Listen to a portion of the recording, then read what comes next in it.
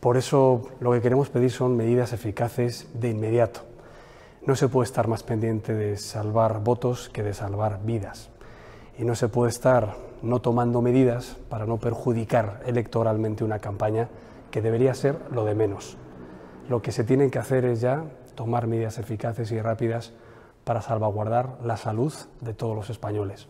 Y por eso no entendemos las decisiones que se han tomado en el Consejo de Ministros, proponiendo al peor ministro de Sanidad de Europa como candidato a la presidencia de la Generalitat. Sinceramente creo que los catalanes no merecen un perfil con una gestión tan negativa a sus espaldas y lo que le pedimos al Partido Socialista y también a Pedro Sánchez es que se ocupe de salvar vidas y que deje de ocuparse de conseguir votos. Voy a dar solo un dato.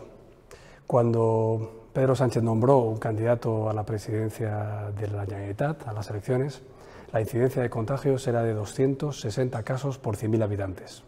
Ayer fue de 900 casos por 100.000 habitantes, tres veces más. Y Europa está diciendo que hay que cerrar las localidades que tengan una incidencia de 500 casos por 100.000 habitantes, es decir, la mitad de lo que tenemos. Por todo ello, yo pido responsabilidad.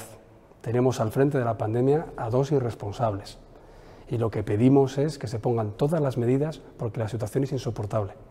Tenemos la campaña de vacunación bloqueada, tenemos los hospitales colapsados, tenemos la pandemia desbocada y tenemos el paro ya demasiado elevado. Por eso hay que ser responsables, dejarse del rédito electoral y poner de una vez por todas medidas de ámbito nacional para parar el virus, de una vez. Porque algunos que han dicho que el virus estaba bajo control, lo que querían era tener bajo control unas elecciones.